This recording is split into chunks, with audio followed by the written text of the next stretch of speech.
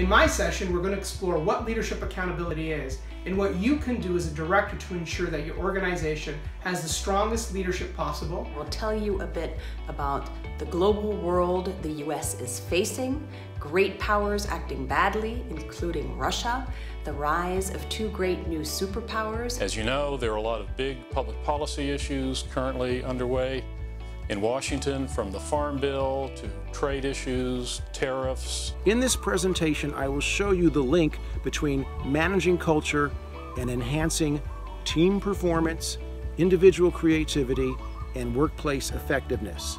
Over 200 years ago, Lewis and Clark and the Corps of Discovery went out into the unknown.